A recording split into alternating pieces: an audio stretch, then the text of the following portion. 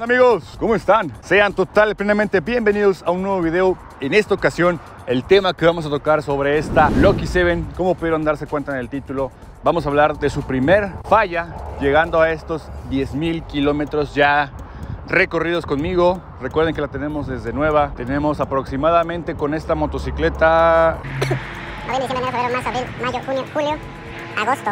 Estamos casi por cumplir también 10 meses. Quiere decir que nos aventamos mil kilómetros por mes. Vaya dato perturbador. Pero pues en esta ocasión toca hablar de esa falla que tuvimos y en general del comportamiento de esta motocicleta llegando a estos 10 mil kilómetros y 10 meses de uso. Y así tú vas a poder descubrir si realmente vale la pena en pleno 2021 comprarte una Lucky 7 porque voy a tocar todos los problemas que me ha dado, que spoiler son muy pocos. Así que pues comencemos con este video.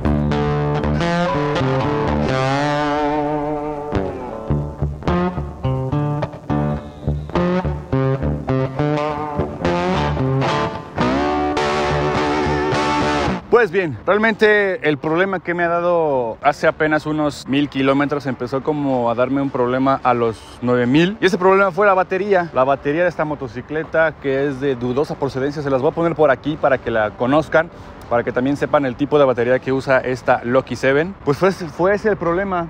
Ya en las mañanas no arrancaba de botón, tenía que prenderla de patada,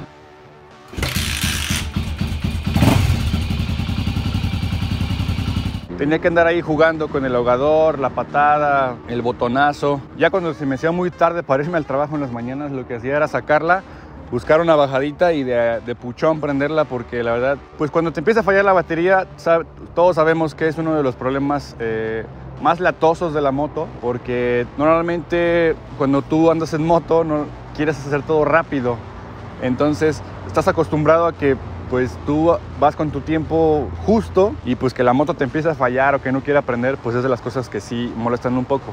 Pero se soluciona muy fácil, simplemente compras una batería, que también les voy a poner por aquí la batería que compré y dónde la compré. Un saludo a mi amigo Esteban, que me la dejó a muy buen precio, la verdad. Me recomendaban mucho la LTH, la América, pero creo que tocó hacer la compra de la batería a mitad de quincena y pues muchachos, no es como que seamos las personas más eh, ricas y apoderadas de, Temisco.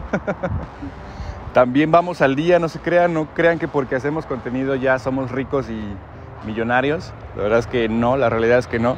Eh, la batería me costó creo que 630, algo así. Coticé obviamente la LTH y la América y sí estaban arriba de mil pesos, me parece. Pero en general, en cuanto a los problemas que me ha dado, la motocicleta realmente solo ha sido ese. Un problema que me dio en carretera que me faltó potencia, pero la verdad es que Aquí quiero hacer un paréntesis porque justo al día siguiente de grabación de este video le conté a mi mecánico de cabecera, al buen Emanuel, que es, cabe destacar que es un mecánico certificado, su taller está certificado por Vento y se encuentra en el centro de Temisco. Le platiqué mi problema y él se dispuso a abrir el carburador y checar si había si se le había metido agua o algún detalle extraño con la motocicleta y notó que el diafragma de la motocicleta, les voy a poner por aquí la foto para que sepan de qué hablo, ya estaba roto. Entonces, como no teníamos a la mano la pieza y pues ni modo que se la volviéramos a poner dañada, lo que hizo eh, Emanuel, eh, el mecánico, la reparó con un poco de pegamento y pedazos de otra de otro diafragma o de otro material muy similar a este, la pegó y la moto volvió a tener la misma potencia que tenía porque empezaba a sentirse un poco rara y por eso también quise llevarla a checar. Pero con esta pieza que la puedes buscar en Mercado Libre tiene un valor alrededor de 250 y 280 pesos y solucionado este problema. Ahora bien, tal vez se preguntarán, pero ¿para qué sirve este diafragma o membrana del carburador? Pues es aquella que se utiliza para ajustar el paso de la mezcla de gasolina y aire hacia los cilindros del motor. Habiendo dicho y explicado lo anterior, volvamos al video. pero en general problemas que me ha dado realmente no. Eh, lo mecánico también. No he hecho un cambio importante en estos 10.000 kilómetros. No he cambiado ni siquiera balatas, ni delanteras ni traseras, aparte de atrás es tambor. Lo que sí no me ha gustado y creo que lo he mencionado en los videos que le he hecho revisiones a la moto, es que sufre mucho de, de oxidación, se oxidan algunas partes de- del cuadro del chasis. Por ejemplo, también les voy a poner por aquí unas imágenes de cómo se, se está oxidando y esas cosas como que no, no me están terminando de gustar de la moto. Son de las, de las pocas cosas realmente que no me han estado gustando. Las cosas que, que me encantaron son el cambio de llantas, que la verdad es que han respondido excelente. Y pues en general se me hace una moto muy, muy, muy duradera. Siento que sí, en- o sea, independientemente del, del detalle de la oxidación, creo que se me hace una moto que va a ser muy duradera, que te va a aguantar muchos, muchos años, por, por el simple hecho de que no tiene tantas cosas plásticas que se rompan. Creo que ese es un, un- un buen punto de esta moto, un buen plus. Entonces, en pleno 2021, aún en pandemia, eh, Omar Jacobo Yadarta recomienda esta motocicleta. Yo la verdad es que sí. Cuando me preguntan si la recomiendo, la verdad es que yo sí la recomiendo porque es un motor ya no tan chico, es un motor que te responde. Ya por ahí me di un jaloncito con una Dominar y con una 390. Obviamente me sacan un tramo,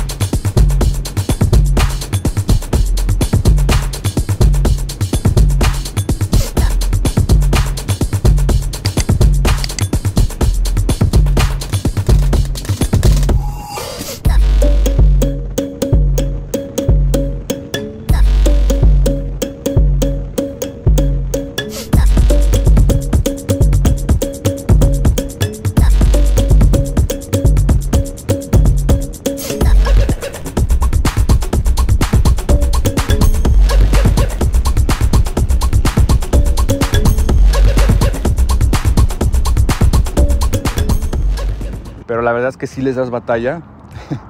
y pues claro, ¿no? Es una, moto que no, está, que no está hecha para correr, que te puedas defender muy bien en carretera, la verdad es que está excelente. Puedes hacer rebases muy muy bien. Es de las cosas que valen la pena esta moto, ese motor. Porque pues la verdad es una moto austera, ¿no? Es una moto que no tiene tecnología como tal. O sea, no tiene nada digital, vaya.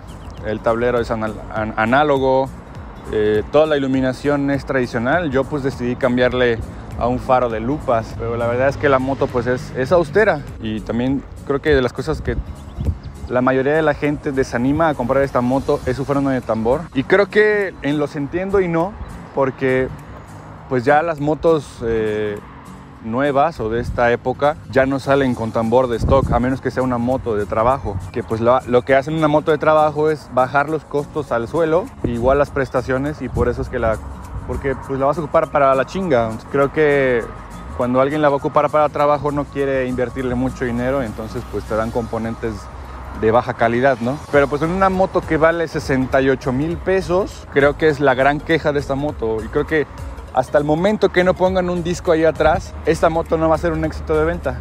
Seamos muy sinceros, seamos muy realistas. Yo creo que si Vento decide darle un, un cambio de cara, lo que necesitan hacer es ponerle un freno de disco atrás y un cochino tablero digital.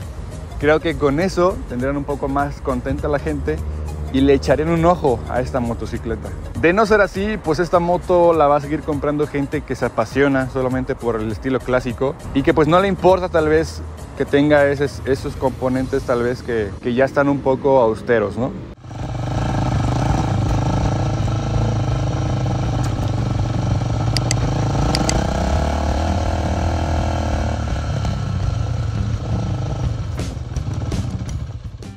Pues así, llegamos al final de este video. La verdad es un video muy corto. Realmente no hay muchas cosas de qué hablar.